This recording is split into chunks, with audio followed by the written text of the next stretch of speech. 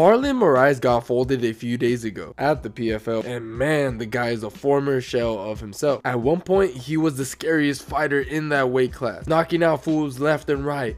But ever since Marlon got knocked out by Cory, his chin has never been the same. Marlon would lose 6 out of his last 7 fights. So Marlon, do your fans a favor and please retire.